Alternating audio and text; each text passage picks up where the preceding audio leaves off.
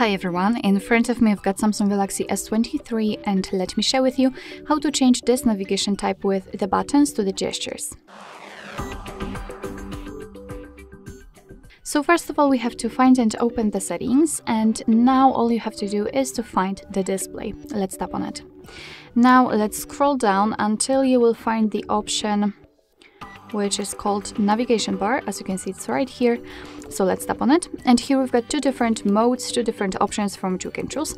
Of course, right now we've got the buttons option applied. This option is marked. And just a quick uh, disclaimer before setting the gestures, you've got the button order right here. So you can customize this mode if you will decide that you want to stick with this option. So you can uh, simply reorder the back button and the recents. In order to set the gestures, we have to tap on this option. As you can see here, we've got um, kind of tutorial, kind of animation, which will show us uh, how to use um, those gestures, but of course I'll show you later on. Just tap on this option and as you can see, the three um, buttons navigation will immediately disappear. Instead, we've got this kind of line, which will be responsible for particular uh, gestures. And again, I'll show you later on. Here you've got some options which you can customize. So you've got the gesture hint and the show button to hide keyboard. It's up to you if you want to use it. And here you've got also more options and as you can see you can decide if you want to swipe to open the assistant app and you can change the gesture sensitivity. And actually I highly recommend to get back to this option after using the gestures for a while. So when you will get used to this um, to this mode to this kind of system and you will be able to decide if you want to set it lower or higher because as you can see this blue area um, is changing the size. And thanks to this you can decide how kind of receptive this device will be for your back, uh, back gestures.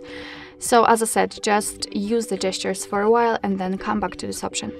So if you um, if you want to get back to the previous page just by uh, just like by using the back button, you have to swipe uh, your finger from the bottom to not from the bottom from the side to the center of your device, and it doesn't really matter if you will do it from the left or the right side. It works the same. As you can see, after swiping this arrow will appear and I've accidentally got back because after uh, releasing the finger your device will simply get back and the same situation from the right. Uh, if you want to get back directly to the home page then all you have to do is to simply swipe your finger from the button, uh, from the bottom to the center of your device and do it kind of fastly, just like that, just a quick motion. And as you can see, we've got the home page.